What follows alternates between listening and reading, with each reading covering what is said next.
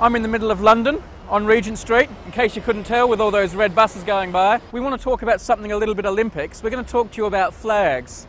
There's loads of flags up the street there, but we want to talk about one in particular. It's one you don't often see at the Games because, well, this country's never actually won a medal. But their flag, very mathematical. we got chatting about countries and their flags and things and I thought well what sort of maths could we do with that? And we could look at the symmetry of flags and you know which has the most symmetrical flag. Then I thought, no, I know what the most mathematical flag is. And this is amazing. So Nepal, I reckon, has the most mathematical flag, the country of Nepal, because the mathematical construction for the flag is actually written into their constitution. And I've got it here. This is Article 5 of the Nepal Constitution, where it describes how to construct the nation's flag. Uh, shall I read it to you? Schedule 1, relating to Article 5. National flag. A. Method of making the shape inside the border. 1. On the lower portion of a crimson cloth, draw a line AB of the required length from left to right. 2. From A, draw a line AC perpendicular to AB, making AC equal to AB plus one third AB. From AC, mark off D, making a line AD equal to line AB. Join BD. From BD, mark off E, making BE equal to AB. 4. Touching E, draw a line FG starting from the point F on line AC parallel to AB to the right hand side. Mark off FG equal to AB. 5. Join CG. I believe it is the only flag uh, for a country certainly that isn't a square or a rectangle. It makes it very unusual. But Nepal are booking the trend. They're sticking with it. This is their flag and they're sticking with it. From AB, mark off AH, making AH equal to one fourth of line AB, and starting from H, draw a line HI parallel to line AC, touching line CG at point I. If it was on cloth, we could just like fold it in half and mark it. See? So maybe I'll do that with the paper. So I want to draw half this distance. Bisect CF at J and draw a line JK parallel to AB touching CG at point K.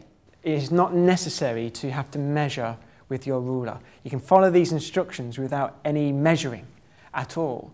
It's telling you to divide things by half and quarters and thirds and using those rules without measuring, we should be able to do this. Let L be the point where lines JK and HI cut one another. 9. Join JG. 10. Let M be the point where line JG and HI cut one another. With centre M and with a distance shortest from M to BD. Mark, I can't keep a straight face. Okay, with centre M and with a distance shortest from M to BD, mark off N to the lower portion of line HI. Touching M and starting from O, a point on AC, draw a line from left to right parallel to AB. With centre L and radius LN, draw a semicircle and on the lower portion and let P and Q be the points where it touches the line OM respectively. With centre M and radius MQ, draw a semicircle on the lower portion touching P and Q.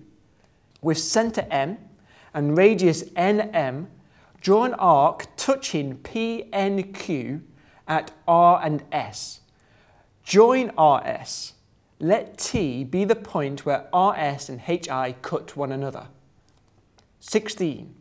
With centre T and radius TS, draw a semicircle on the upper portion of PNQ, touching it at two points. This is what mathematics was like in ancient times. Uh, this is what it was like to the Greeks. All Greek mathematics was like this and written down like this. With centre T and radius TM, draw an arc on the upper portion of PNQ, touching at two points. Eight equal and similar triangles of the moon are to be made in the space lying inside the semicircle of number 16 and outside the arc of number 17 of this schedule. I made that bit up. I cheated a little bit, just a little bit. C. Method of making the sun. Bisect line AF at U and draw a line UV parallel to line AB, touching line BE at V. I'm gone blind. Ah, it's like it's all swimming now. Okay, with centre W, the point where HI and UV cut one another, and radius MN draw a circle. Got to W. There isn't any X and Z, so yes, we're nearly there. It took that many letters though. It took nearly the whole alphabet. Just be glad there aren't 27 steps.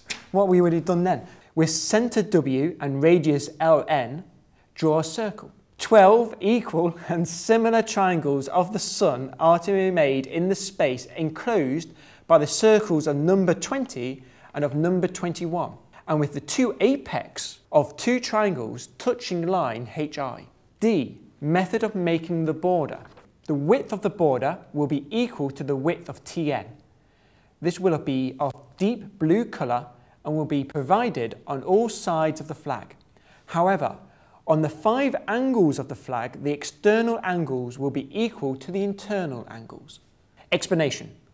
The lines HI, RS, FE, ED, JG, OQ, JK and UV are imaginary. Similarly, the external and internal circles of the Sun and the other arcs except the crescent moon are also imaginary. These are not shown on the flag. And it's as easy as it sounds.